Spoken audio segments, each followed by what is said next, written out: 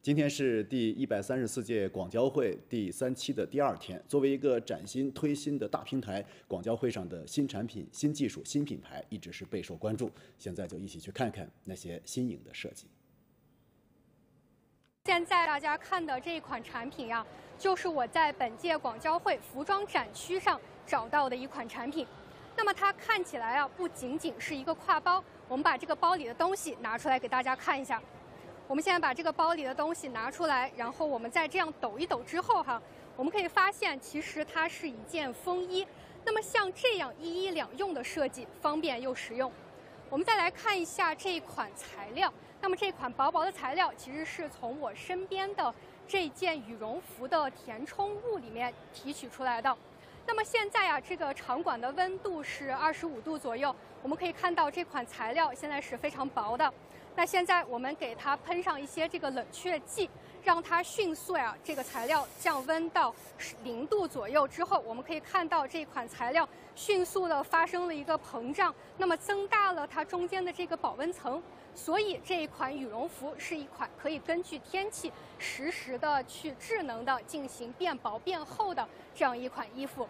在我旁边这里啊，正在展示的就是一个 3D 数字化面料的集成系统。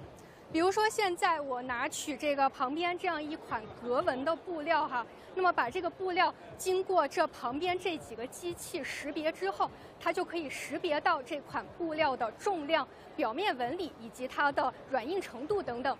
那识别完之后，就会将这一款布料以 3D 的形式上传到我们的电脑终端上。那我们的这个设计师就可以在软件上对这款布料进行服装设计。换句话来说，就是我们通过这种仿真引擎，将我们的服装材质数字化。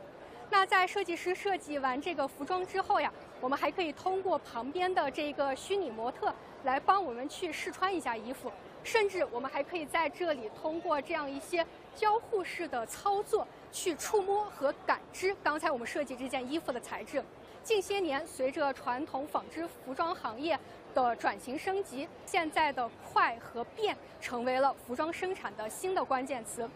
以往我们设计和生产一款衣服呀，需要经过平面的绘制这个图稿，以及打样、备料，还有打版等等这样各项环节，少则需要花半个月，多则需要花到三到四个月的时间。但是现在啊，不少的这个服装生产企业通过引进数字化生产和智能化生产的方式，可以实现小批量订单、快速反应这样的打法，以适应我们市场的新的需求。